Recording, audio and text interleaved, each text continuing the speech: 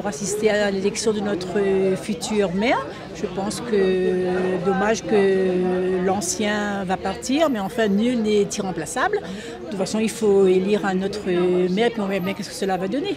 Ça faisait quand même près de 40 ans Car, Effectivement, oui, mais enfin, il faut dire aussi qu'il a fait énormément de choses pour la commune du Tampon et même pour la Réunion. Mais enfin, comme je vous ai dit précédemment, nul n'est irremplaçable. Et de tout cœur, euh, son, son, remplaçant va faire aussi mieux que lui. C'est tout ce que la commune du Tampon demande. Et justement, qu'est-ce que vous attendez de son remplaçant Ben, qu'il fasse mieux.